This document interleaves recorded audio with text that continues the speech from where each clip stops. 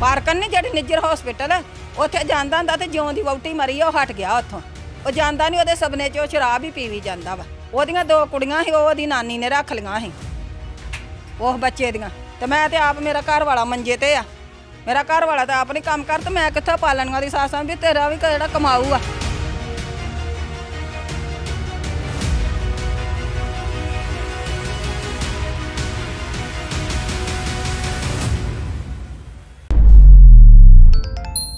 ਅੰਮ੍ਰਿਤਸਰ ਵਿਖੇ ਸ੍ਰੀ ਦਰਬਾਰ ਸਾਹਿਬ ਦੇ ਨੇੜੇ ਲਗਾਤਾਰ ਤਿੰਨ ਧਮਾਕੇ ਹੋਏ ਤੇ ਪਿਛਲੇ ਕਈ ਦਿਨਾਂ ਤੋਂ ਪੁਲਿਸ ਪ੍ਰਸ਼ਾਸਨ ਜਾਂਚ ਵਿੱਚ ਲੱਗਿਆ ਹੋਇਆ ਹੈ ਤੇ ਅੱਜ ਸਵੇਰੇ ਹੋਏ ਧਮਾਕੇ ਤੋਂ ਬਾਅਦ ਪੁਲਿਸ ਵੱਲੋਂ ਪੰਜ ਵਿਅਕਤੀਆਂ ਨੂੰ ਗ੍ਰਿਫਤਾਰ ਕੀਤਾ ਗਿਆ ਹੈ ਇਸੇ ਦੇ ਚੱਲਦੇ ਗ੍ਰਿਫਤਾਰ ਕੀਤੇ ਵਿਅਕਤੀਆਂ ਦੇ ਪਰਿਵਾਰਕ ਮੈਂਬਰ ਸਾਹਮਣੇ ਆ ਰਹੇ ਨੇ। ਜਿਸ ਤੋਂ ਬਾਅਦ ਗ੍ਰਿਫਤਾਰ ਕੀਤੇ ਗਏ ਧਰਮਿੰਦਰ ਸਿੰਘ ਦੇ ਪਰਿਵਾਰਕ ਮੈਂਬਰਾਂ ਦਾ ਕਹਿਣਾ ਹੈ ਕਿ ਉਹਨਾਂ ਦਾ ਪੁੱਤ ਹਮੇਸ਼ਾ ਨਸ਼ੇ ਵਿੱਚ ਰਹਿੰਦਾ ਹੈ ਜਿਸ ਕਰਕੇ ਉਹ ਅਜਿਹਾ ਕੁਝ ਨਹੀਂ ਕਰ ਸਕਦਾ। ਪੁਲਿਸ ਨੇ ਧਰਮਿੰਦਰ ਤੇ ਉਸਦੇ ਸਾਲੇ ਨੂੰ ਗ੍ਰਿਫਤਾਰ ਕੀਤਾ ਹੈ ਜਿਸ ਤੋਂ ਬਾਅਦ ਉਸਦੇ ਪਰਿਵਾਰਕ ਮੈਂਬਰਾਂ ਨੇ ਇਸ ਦਾ ਵਿਰੋਧ ਕੀਤਾ ਹੈ ਉਹਨਾਂ ਦਾ ਕਹਿਣਾ ਹੈ ਕਿ ਉਹਨਾਂ ਦਾ ਪੁੱਤਰ ਤੇ ਜਵਾਈ ਅਜਿਹਾ ਕੁਝ ਨਹੀਂ ਕਰ ਸਕਦਾ। ਸਰ, ਸਵੇਰੇ ਆਏ ਪੁਲਿਸ ਵਾਲੇ ਤੇ ਮੈਂ ਅਸੀਂ ਸਾਰੇ ਸੁੱਤੇ ਆ ਬੂਆ ਵੀ ਨਹੀਂ ਖੋਲਿਆ ਜੇ ਅਸੀਂ ਸੁੱਤੇ ਆ, ਅਸੀਂ ਲੇਟ ਹੀ ਉੱਠਦੇ ਸੁੱਤੇ ਆ ਤੇ ਆ ਕੇ ਉਹਨਾਂ ਬੂਆ ਖੜਕਾਇਆ ਤੇ ਮੈਂ ਖੋਲਿਆ ਨੇ ਮੈਂ ਕਹਿਣ ਦੀ ਪਤਾ ਨਹੀਂ ਕੌਣ, ਮੈਂ ਕਿਹਾ ਘਰੇ ਉਹ ਗੱਡੀ ਲੈਣ ਆਉਂਦਾ ਆ ਤੇ ਮੈਂ ਕਿਹਾ ਗੱਡੀ ਲੈਣ ਆਇਆ ਵਾ ਮੁੰਡਾ ਕੋਈ।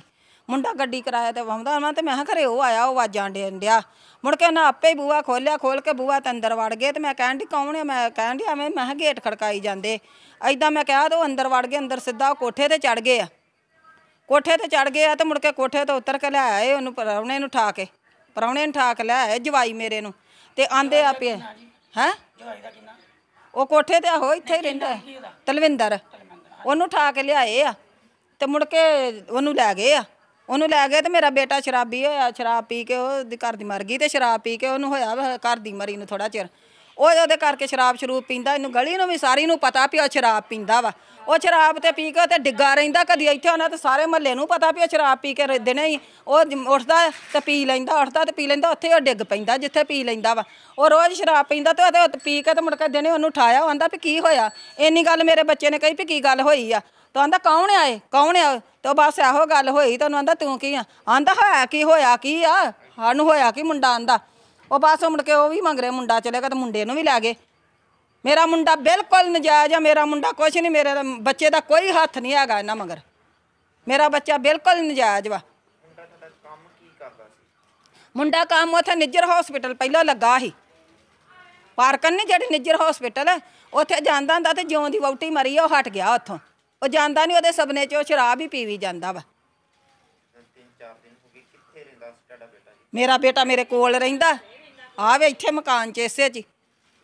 ਮੇਰਾ ਬੇਟਾ ਮੇਰੇ ਕੋਲ ਰਹਿੰਦਾ ਰਾਤ ਦਿਨੇ ਉਹ ਮੇਰੇ ਨਾਲ ਸੁੱਤਾ ਰਹਿੰਦਾ। ਮੈਂ ਇਦਾਂ ਜਦੋਂ ਸੌਂਨੇ ਬੈਨੇ ਸਾਡਾ ਬੈੱਡ ਇੱਕੋ ਹੀ ਆ। ਤਾਂ ਅਸੀਂ ਸਾਰੇ ਜੀ ਇਕੱਠੇ ਸੌਂਨੇ ਆ ਮੇਰੀ ਵਹੁਟੀ ਸਾਡੀ ਵਹੁਟੀ ਵੀ ਮੇਰੀ ਨੌਂ ਮੇਰੀ ਨੌਂ ਦੇ ਬੱਚੇ ਤੇ ਉਹ ਮੇਰੇ ਬੇਟੇ ਆ। ਉਹਦੀਆਂ ਦੋ ਕੁੜੀਆਂ ਸੀ ਉਹ ਉਹਦੀ ਨਾਨੀ ਨੇ ਰੱਖ ਲਈਆਂ ਸੀ। ਉਹ ਬੱਚੇ ਦੀਆਂ, ਜਿਹਨੂੰ ਖੜਿਆ ਆ। ਉਹਦੀਆਂ ਦੋ ਕੁੜੀਆਂ ਉਹਦੀ ਨਾਨੀ ਨੇ ਰੱਖ ਲਈਆਂ, ਜਦੋਂ ਉਹਦੀ ਵ- ਮਰ ਗਈ ਘਰ ਦੀ, ਤੇ ਉਹ ਕੁੜੀਆਂ ਉਹਦੀ ਨਾਨੀ ਨੇ ਰੱਖ ਲਈਆਂ ਦੀ ਇਹ ਸ਼ਰਾਬ ਸ਼ਰੂਬ ਪੀਂਦਾ, ਇਹਨੇ ਕਿੱਥੋਂ ਪਾਲਣੀਆਂ ਵਾ? ਤੇ ਮੈਂ ਤੇ ਆਪ ਮੇਰਾ ਘਰ ਵਾਲਾ ਮੰਜੇ ਤੇ ਆ। ਮੇਰਾ ਘਰ ਵਾਲਾ ਤਾਂ ਆਪ ਨਹੀਂ ਕੰਮ ਕਰ ਤੇ ਮੈਂ ਕਿੱਥੋਂ ਪਾਲਣੀਆਂ ਦੀ ਸਾਸਾਂ ਵੀ ਤੇਰਾ ਵੀ ਜਿਹੜਾ ਕਮਾਊ ਆ। ਮੁੰਡਾ ਤੇ ਮੇਰਾ ਸ਼ਰਾਬੀ ਆ, ਤੇ ਦੂਜਾ ਮੁੰਡਾ ਵਿਚਾਰਾ ਆਪਣੀ ਕਰਦਾ ਤੇ ਖਾਂਦਾ ਵਾ। ਉਹਦੀਆਂ ਤੇ ਆਪ ਚਾਰ ਧੀਆਂ ਵਾ।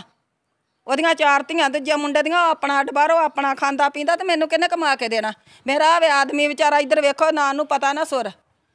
ਤੋ ਕਮਾਉਂਦਾ ਨਹੀਂ ਤੇ ਉਹ ਮੇਰਾ ਕਮਾਉਣ ਵਾਲਾ ਤੇ ਉਹਨੂੰ ਫਾ- ਉਹ ਇਦਾਂ ਹੁਣ ਵੋਟੀ ਕਰਕੇ ਚਲੋ ਸ਼ਰਾਬ ਸ਼ਰੂ ਪੀਣ ਡਿਆ ਸੀ। ਤਿੰਨ ਚਾਰ ਦਿਨ ਤੋਂ ਘਰ ਹੀ ਰਿਹਾ। ਘਰੇ ਹੀ ਰਿਹਾ ਬੜੇ ਦਿਨਾਂ ਤੋਂ। ਮੇਰਾ ਮੁੰਡਾ ਘਰੇ ਹੀ ਰਹਿੰਦਾ ਵਾ ਉਹ ਨਹੀਂ ਕਿਤੇ ਜਾਂਦਾ। ਉਹ ਜਾ- ਜਦੋਂ ਪੁਲਿਸ ਆਈ ਕਿੰਨੇ ਜਾਣੇ ਆਏ ਸੀ ਤੇ ਘਰ ਦੀ ਫੁੱਲ ਅਪਲਾਈ ਕੀਤੀ ਗਈ ਘਰ ਦੀ ਫੁੱਲਾ ਫਲਾਈ ਨੇ ਉਹ ਸਿੱਧਾ ਕੋਠੇ ਤੇ ਚੜ ਗਿਆ, ਕੋਠੇ ਤੋਂ ਪਰੌਣੇ ਨੂੰ ਫੜ ਕੇ ਲੈ ਆਏ ਆ ਤੇ ਉਹਦਾ ਸਾਡੇ ਘਰ ਅੰਦਰ ਵੇਖਣ ਡਏ ਸੀ। ਬਾਅਦ ਚ ਆਂਦੇ, ਬੱਤੀ ਜਗਾਓ। ਤੇ ਉਹਨਾਂ ਆਪੇ ਇਦਾਂ ਟਾਰਚਾਂ ਮਾਰ ਮੁਰ ਕੇ ਵੇਖ ਲੀਆਂ। ਅਸੀਂ ਕੋਈ ਵੀ ਨਹੀਂ ਤੇ ਸੁੱਤੇ ਹਾਂ। ਜਦੋਂ ਪੁਲਿਸ ਆਉਂਦੀ ਹੈ ਤੁਹਾਡੇ ਬੇਟੇ ਨੂੰ ਫੜਦੀ ਹੈ ਤੇ ਤੁਹਾਨੂੰ ਦੱਸਿਆ ਕਿਉਂ ਫੜਿਆ ਬੇਟਾ ਤੇ ਆਪ ਉੱਠਿਆ ਮੰਜੇ ਤੋਂ। ਉਹ ਤੇ ਆਂਦੇ ਵੀ ਇਹ ਸ਼ਰਾਬ ਪੀਤੀ, ਇਹਨੂੰ ਪਏ ਰਹਿਣ ਦੋ। ਉਹ ਤੇ ਆਪ ਪਾਉਂਦੇ, ਪਹਿਲਾਂ ਆਂਦੇ ਵੀ ਇਹਨੂੰ ਪਿਆ ਰਹਿਣ ਦੋ। ਮੇਰਾ ਬੇਟਾ ਨਾ ਜਿਹੜਾ ਨੂੰ ਤੇ ਪੁਲਿਸ ਆਪ ਕਹਿਣ ਦੀ ਵੀ ਪੈ ਜਾ ਲੰਮੇ ਤੂੰ दारू ਪੀਤੀ ਆ। ਤੇ ਮੈਂ ਕਿਹਾ ਭਾਜੀ ਇਹਦੀ ਘਰ ਦੀ ਮਰ ਗਈ ਆ ਤੇ ਇਹ ਮੈਂ ਕਿਹਾ ਉਹਦਾ ਕਰਕੇ ਸ਼ਰਾਬ ਪੀਂਦਾ ਵਾ। ਉਹ ਉਹਨਾਂ ਦੱਸਿਆ ਵੀ ਕੀ ਕਾਰਨ ਹੈ ਫੜਨ ਦਾ ਕਾਦੇ ਲਈ ਲੈ ਕੇ ਚੱਲੇ? ਕਾਰਨ ਪਤਾ ਨਹੀਂ ਉਹਨਾਂ ਪ੍ਰਾਹੁਣੇ ਨੂੰ ਆਂਦੇ ਸੀ ਵੀ ਸ਼ੱਕ ਸ਼ੁਬਾ ਤੇ ਲੈ ਕੇ ਚੱਲੇ। ਮੇਰਾ ਮੁੰਡਾ ਤੇ ਐਵੇਂ ਨਜਾਇਜ਼ ਹੀ ਨਾਲ ਹੀ ਗਿਆ। ਕਿਹੜੇ ਸ਼ੱਕ ਤੇ ਜੀ?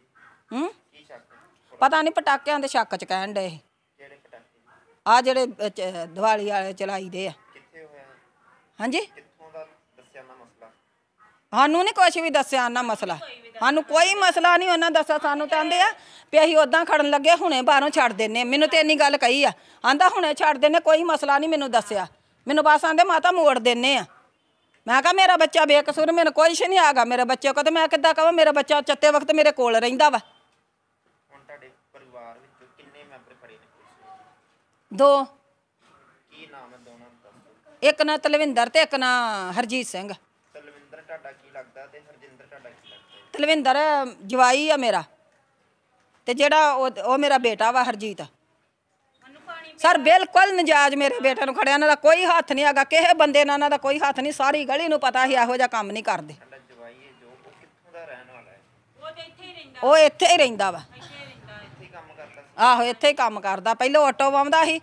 ਉਹ ਪਹਿਲਾਂ ਆਟੋ ਵਾਉਂਦਾ ਸੀ। ਹੁਣ ਆਟੋ ਖਰਾਬ ਹੋ ਗਿਆ। ਆਟੋ ਵੇਚ ਕੇ ਤਾਂ ਉਹਨੇ ਬੈਟਰੀ ਲਈ ਕੀ ਇਹਨਾਂ ਦੋਨਾਂ ਵਿੱਚ ਕੋਈ ਪਟਾਕਿਆਂ ਦਾ ਕੰਮ ਕਰਦੇ ਸੀ ਨਹੀਂ ਅਸੀਂ ਨਹੀਂ ਕਰਦੇ। ਸਾਨੂੰ ਅਸੀਂ ਅਨਗੜ ਦੇ ਰਹਿਣ ਵਾਲੇ। ਪਹਿਲਾਂ ਅਸੀਂ ਇੰਨਾ ਚਿਰ ਹੋ ਗਿਆ ਉੱਥੋਂ। 18 ਸਾਲ ਆਹੋ 18 ਸਾਲ ਹੋ ਗਏ ਉਹਨੂੰ 20 ਸਾਲ 22 ਹੋ ਚੱਲੇ ਸਾਨੂੰ। 2005 ਦੇ ਅਸੀਂ ਆਏ ਆ ਇੱਥੇ। ਅਨਗੜ ਕਿੰਨਾ ਟਾਈਮ ਰਹੇ ਹੋ? ਹੈ? ਅਨਗੜ ਕਿੰਨਾ ਟਾਈਮ ਅਨਗੜ ਅਸੀਂ ਪਹਿਲੋਂ ਬਚਪਨਾ ਸਾਡਾ ਉੱਥੇ ਹੀ ਅਨਗੜੀ ਤੇ ਉੱਥੋਂ ਸਾਡੇ ਦੋ ਕਤਲ ਹੋ ਗਏ ਅਨਗੜੋਂ ਤੇ ਉਹ ਅਸੀਂ ਉਦੋਂ ਦੇ ਮੁੜ ਕੇ ਜਿਉਂ ਆਏ ਉੱਥੇ ਉਹ ਸਾਹਮਣੇ ਨੇ ਉਦੋਂ ਸਾਡੇ ਬੰਦੇ ਦਾ ਕਤਲ ਕਰ ਦਿੱਤਾ ਬੰਦਾ ਮਾਰਤਾ ਤੇ ਮੁੜ ਕੇ ਮੁੰਡੇ ਦੀ ਗਵਾਹੀ ਤੋਂ ਨਾ ਮੁੰਡੇ ਨੂੰ ਵੀ ਮਾਰਤਾ। ਅੱਜ ਇਹਨਾਂ ਦੇ ਘਰ ਅਸੀਂ ਰਹਿਣ ਦੇ ਆ। ਮੇਰੀ ਭੈਣ ਕਾ ਘਰ ਹੀ ਹੁਣ ਕੀ ਮੰਗ ਕਰਦੇ ਹੋ ਜੀ? ਹੁਣ ਅਸੀਂ ਮੰਗ ਕਰਦੇ ਵੀ ਸਾਡੇ ਬੱਚੇ ਬਿਲਕੁਲ ਨਜਾਇਜ਼ ਆ ਮੇਰਾ ਬੱਚਾ ਵੀ ਬਿਲਕੁਲ ਨਜਾਇਜ਼ ਇਹਨਾਂ ਨੂੰ ਛੱਡਿਆ ਜਾਵੇ। ਸਾਡੇ ਬੱਚਿਆਂ ਦਾ ਕੋਈ ਇਹ ਮਗਰ ਹੱਥ ਨਹੀਂ ਹੈਗਾ। ਨਹੀਂ ਉਹਨਾਂ ਦਾ ਇਹ ਮਗਰ। ਕੁਛ ਨਹੀਂ ਉਹਨਾਂ ਨੇ ਸਵੇਰੇ 6 ਵਜੇ ਲੈ ਕੇ ਆ ਕਹਿੰਦੇ ਪੁੱਛ ਆ। ਸ਼ੱਕ 'ਚ ਖੜਿਆ ਸ਼ੱਕ ਸ਼ੁਬਾ 'ਚ ਖੜ ਰਿਹਾ। ਅੱਛਾ। ਆਹ ਇਹੋ ਹੀ ਬਸ ਸਾਨੂੰ ਕਹਿ ਕੇ ਤੇ ਲੈ ਗਏ ਸਵੇਰੇ ਉਹਨਾਂ ਨੂੰ। ਤੇ ਇਹ ਜਦੋਂ ਲੈਣ ਆਏ ਉਦੋਂ ਕਿੱਥੇ ਹੈਗਾ ਸੀ? ਸੁੱਤੇ ਹੀ ਘਰ ਹੀ ਹੀ। ਸੁੱਤੇ ਪਏ ਨੂੰ ਖੜਿਆ ਕਰ ਕੌਣ ਕੌਣ ਸੀ? ਮੇਰਾ ਅਹ, ਸਾਰੇ ਹੀ ਅਸੀਂ ਘਰ। ਸਾਰੇ ਘਰੇ। ਸਾਰੇ ਘਰ ਦੇ ਹਾਂਜੀ ਸਾਰੇ ਬੱਚੇ ਵੀ ਮੈਂ ਵੀ ਘਰੇ ਹੀ ਸਾਰੇ ਹੀ ਅਸੀਂ ਘਰੇ ਹੀ। ਕੀ ਕੰਮ ਕਰਦੇ ਸੀ ਤੁਹਾਡੇ? ਉਹ ਬੈਟਰੀ ਵਾਉਂਦੇ ਕਿਰਾਏ ਤੇ। ਆ ਇੱਥੇ ਆ ਲਈ ਸੀ ਬੈਟਰੀ ਰਿਕਸ਼ਾ ਹਾਂਜੀ ਬੈਟਰੀ ਰਿਕਸ਼ਾ ਬੰਦੇ ਤੇ ਪਰ ਕਿੰਨੇ ਦਿਨ ਹੋ ਗਏ ਉਹ ਨਹੀਂ ਘਰੋਂ ਗਏ ਵੀ ਤੇ ਕੀ ਜਿਨ੍ਹਾਂ ਨਾਲ ਸਾਥੀ ਆ ਉਹਨਾਂ ਨੂੰ ਪੜਿਆ ਵੀ ਗਿਆ ਕਿ ਉਹਨਾਂ ਨੂੰ ਕਦੀ ਨਹੀਂ ਨਹੀਂ। ਕਦੀ ਨਹੀਂ ਉਹਨਾਂ ਨਾਲ ਤੇ ਕੋਈ ਵੀ ਨਹੀਂ ਉਹ ਕਿਤੇ ਕੋਈ ਲਿੰਕ ਆ ਉਹਦੇ ਨਾਲ ਨਹੀਂ ਸਾਡਾ ਕੋਈ ਲਿੰਕ ਵੀ। ਅਸੀਂ ਤਾਂ ਉਹਨੂੰ ਜਾਣਦੇ ਵੀ ਨਹੀਂ ਆ। ਪੁਲਿਸ ਵਾਲੇ ਕਿੰਨੇ ਜਾਣੇ ਆਏ ਸੀ? ਪੁਲਿਸ ਵਾਲੇ 8-10 ਜਣੇ ਹੈਗੇ ਆ। 8-10 ਜਾਣੇ ਅਸੀਂ ਘਰੇ। ਤੁਹਾਨੂੰ ਕੀ ਗਿਆ ਸੀ? ਸਾਨੂੰ ਕੁਛ ਨਹੀਂ ਸਾਨੂੰ ਆਂਦੇ ਵੀ ਬੀਬਾ ਸ਼ੱਕ ਤੌਰ ਤੇ ਖੜਨਾ ਵਾ। ਵੀ ਟਾਕਿਆਂ ਦੇ ਸ਼ੱਕ ਚ ਖੜਨਾ। ਪਤਾ ਨਹੀਂ ਇਦਾਂ ਹੀ ਹਾਂ। ਹੁੰਦੇ ਆ ਵੀ ਉਹ ਤੇ ਕੀ ਕਿਤੇ ਗਏ ਸੀ ਤੁਹਾਡੇ ਘਰ? ਨਹੀਂ ਉਹ ਕਿਤੇ ਨਹੀਂ ਗਏ। ਉਹ ਬੜੇ ਦਿਨ ਹੋ ਗਏ ਘਰ ਹੀ ਆ ਉਹ दारू ਪੀ ਆਉਂਦੇ ਤੇ ਘਰ ਲੰਮੇ ਪੈ ਜਾਂਦੇ दारू ਪੀ ਆਉਂਦੇ ਘਰ ਲੰਮੇ ਪੈ ਜਾਂਦੇ ਤੇ ਉਹ ਠੀਕ ਵੀ ਨਹੀਂ ਸੀ ਬਿਮਾਰ ਸੀ ਉਹ ਦੋ ਗੁੱਡੀਆਂ ਹੀ ਆ ਬੁਖਾਰ ਚੜਨ ਡਿਆ ਗੁੱਡੀਆਂ ਦੋ ਤੇ ਕੀ ਮੰਗ ਕਰਦੇ ਹੋ ਹਾਂਜੀ ਮੰਗ ਕੀ ਕਰਦੇ ਹੋ ਮੰਗ ਹਾਂਜੀ ਛੱਡਿਆ ਜਾਵੇ ਉਹਨਾਂ ਦੀ ਛੱਡਿਆ ਜਾਵੇ ਉਹਨਾਂ ਨੂੰ ਆਹ, ਬੇਨਜਾਇਜ਼ ਆ ਸਾਨੂੰ ਤੇ ਕਿਸੇ ਗੱਲ ਦਾ ਵੀ ਨਹੀਂ ਭਾਜੀ ਪਤਾ ਵੀ ਅਸੀਂ ਤੇ ਆਪਣੇ ਘਰ ਬੈਠੇ ਆ ਸਾਨੂੰ ਨਹੀਂ ਕਿਸੇ ਗੱਲ ਦਾ ਪਤਾ ਹੈਗਾ ਵੀ। ਤੁਹਾਨੂੰ ਦੱਸ ਦਈਏ ਕਿ ਪਿਛਲੇ ਦਿਨਾਂ ਵਿੱਚ ਹੋਏ ਦੋ ਧਮਾਕਿਆਂ ਤੋਂ ਬਾਅਦ ਅੱਜ ਇੱਕ ਵਾਰ ਫਿਰ ਸਵੇਰੇ ਕਰੀਬ 12 ਵਜੇ ਪਹਿਲਾਂ ਵਾਲੇ ਧਮਾਕਿਆਂ ਦੀ ਥਾਂ ਤੋਂ 2 ਕਿਲੋਮੀਟਰ ਦੂਰ ਇੱਕ ਹੋਰ ਧਮਾਕਾ ਹੋਇਆ, ਜਿਸ ਤੋਂ ਬਾਅਦ ਐਸਜੀਪੀਸੀ ਦੇ ਸੇਵਾਦਾਰ ਤੇ ਪੁਲਿਸ ਪ੍ਰਸ਼ਾਸਨ ਅਚਾਨਕ ਐਕਸ਼ਨ ਵਿੱਚ ਆ ਗਏ ਤੇ ਸੀਸੀਟੀਵੀ ਵੀਡੀਓ ਸਾਹਮਣੇ ਆਉਣ ਤੋਂ ਬਾਅਦ ਉਹਨਾਂ ਵਿਅਕਤੀਆਂ ਨੂੰ ਗ੍ਰਿਫਤਾਰ ਕਰ ਲਿੱਤਾ ਤੇ ਪੰਜਾਬ ਦੇ ਡੀਜੀਪੀ ਗੌਰਵ ਯਾਦਵ ਵੱਲੋਂ ਮਾਮਲੇ ਨੂੰ ਹੱਲ ਕਰਨ ਦਾ ਦਾਅਵਾ ਕੀਤਾ ਜਾ ਰਿਹਾ ਹੈ। ਅੰਮ੍ਰਿਤਸਰ ਤੋਂ ਵੰਸ਼ਦੀਪ ਸਿੰਘ ਦੀ ਰਿਪੋਰਟ D5 ਚੈਨਲ ਪੰਜਾਬੀ। ਨਿਡਰ ਹਾਂ ਨਿਰਪੱਖ ਰਹਾਂਗੇ। ਆਜ਼ਾਦ ਹਾਂ ਸੱਚ ਕਹਾਂਗੇ। ਗੱਲ ਕਰਾਂਗੇ ਸਿਆਸੀ ਹਵਾ ਦੀ।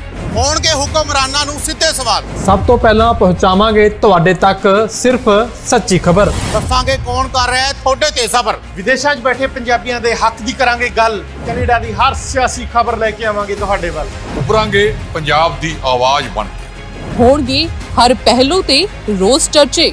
ਖੋਲਾਂਗੇ ਅੰਦਰੂਨੀ ਰਾਜ। ਬਣਾਂਗੇ ਬੁਲੰਦ ਆਵਾਜ਼। ਖੇਡ ਸਿੱਖਿਆ ਸਿਹਤ ਖੇਤੀ ਦੀ ਬਾਤ ਪਾਵਾਂਗੇ। ਹਰ ਪਿੰਡ ਹਰ ਸ਼ਹਿਰ ਜਾਵਾਂਗੇ। ਮਨੋਰੰਜਨ ਨਾਲ ਜੁੜੇ ਕਲਾਕਾਰਾਂ ਨਾਲ ਕਰਵਾਵਾਂਗੇ ਮੁਲਾਕਾਤ। ਸੰਘਰਸ਼ਾਂ ਵਾਲੀ ਜ਼ਿੰਦਗੀ ਤੇ ਮਾਰਾਂਗੇ ਝਾਲ ਕੀ ਨੇ ਸਾਡੇ ਕਾਨੂੰਨ ਫਰਜ਼ ਤੇ ਅਧਿਕਾਰ?